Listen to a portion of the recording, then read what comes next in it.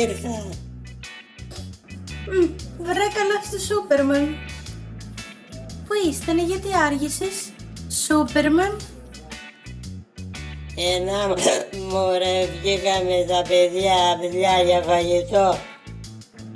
Τόσες ώρες για φαΐ ήτανε. Ε, Σούπερμαν; Ε, πήγαμε για ένα πουτάκι μετά. Τόσες ώρες ένα ποτάκι. Σούπερμαν.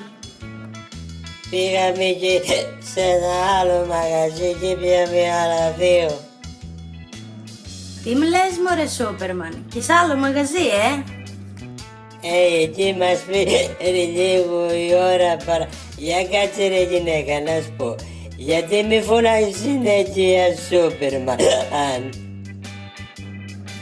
Και πώς θες να σε φωνάζω δηλαδή; Με το όνομα μου. Δεν έχω όνομα εγώ. Το βρακίαν πάνω από το παντελόνι Γιαννάκη μου το φοράει μόνο ο Σούπερμαν. Κατάλαβες; Μόνο ο Σούπερμαν. Δεν είναι αυτό που νομίζεις.